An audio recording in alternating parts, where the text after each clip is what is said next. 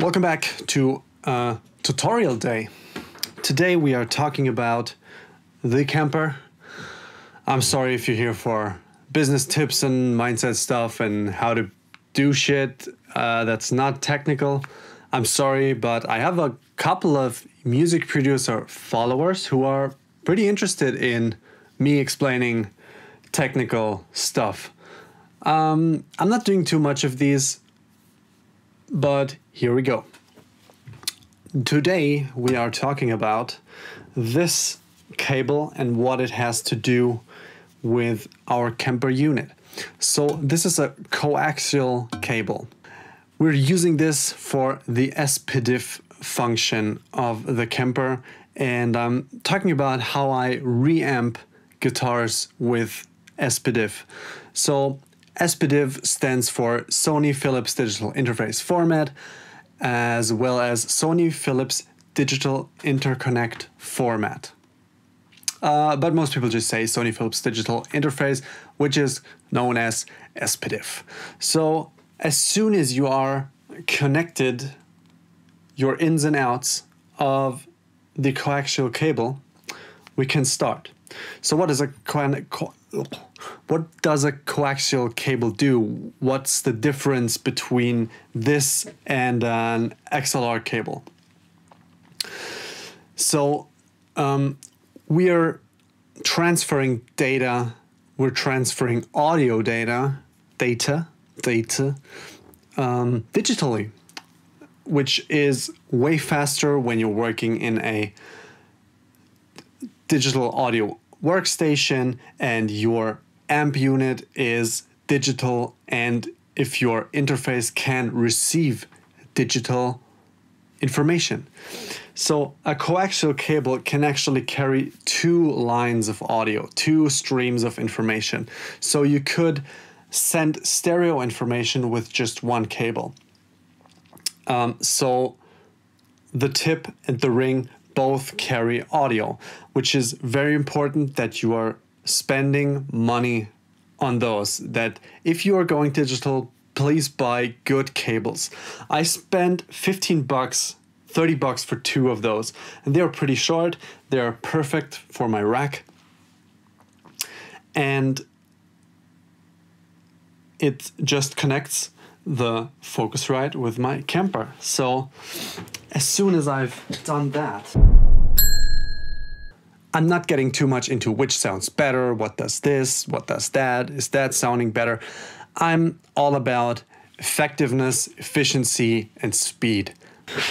We can jump into the digital audio workstation.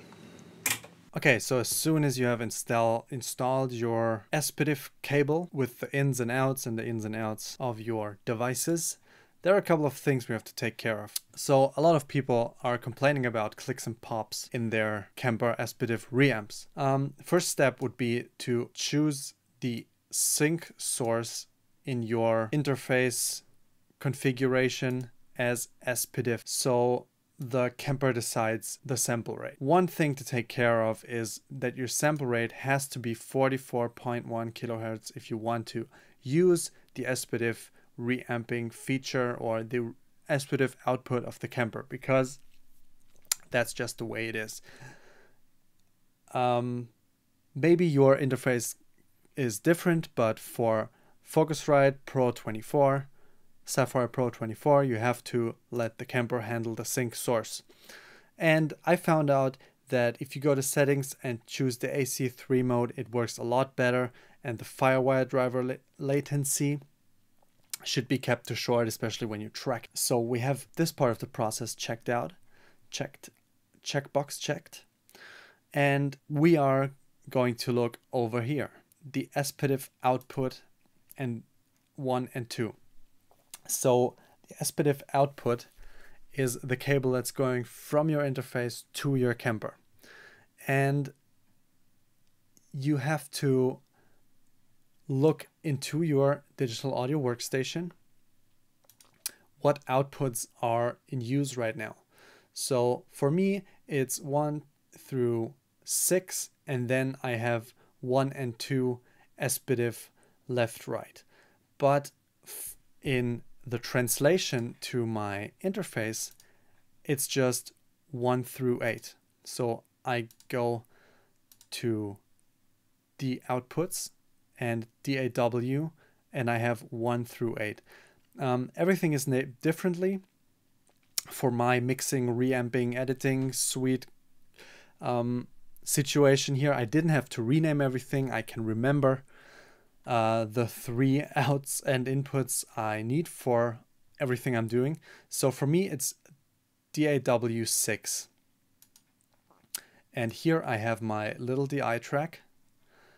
And the output of this is going to be line 6.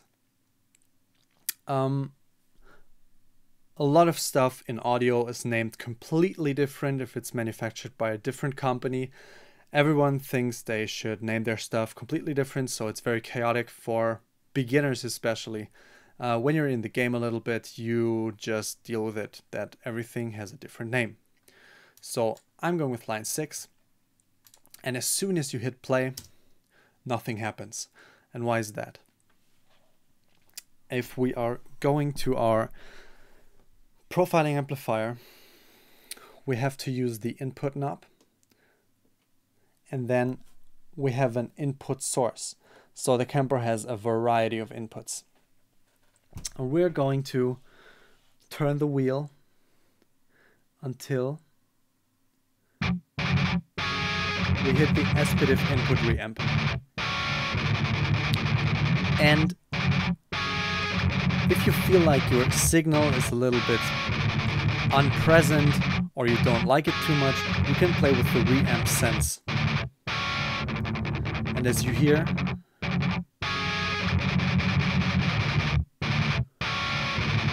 it adds a little bit more or less definition to the whole signal. I keep this at zero because this is uh, DI from my own guitar and I know that it just works very well with, uh, with 0 dB. And you should do that, if you have a problem with your tone, you should do that before playing with all the different knobs. So now you can go ahead and tweak your reamping signal.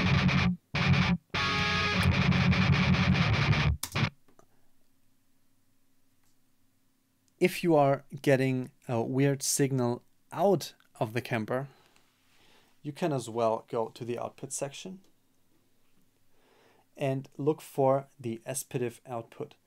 And I have JIT and master left. So in audio, everything, the first thing is always a left. So left is the primary power in audio. So JIT always means DI, dry signal, the direct signal that's going in through here. And after the dash, you have master left. So I'm sending a mono signal back to my DAW, to back to my interface. And this is uh, master left. You could as well you make everything stereo, so you have master left and master right, but this way you can utilize the two lines of the SPDIF for two different signals. And that's why reamping with it is so cool.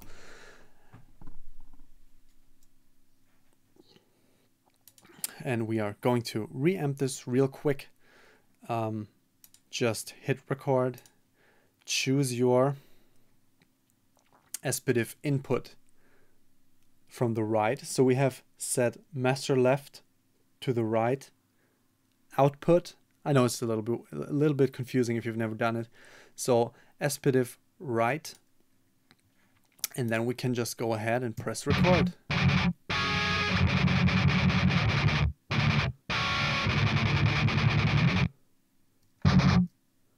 So yeah, this is it. I hope you learned something from this. I never planned on doing any sort of audio engineering, audio education, audio tutorials on this channel, but somehow people requested. Thank you very much for the request. Uh, keep the suggestions coming and uh, ask me anything about audio engineering if you want. So, have a great sa- Saturday.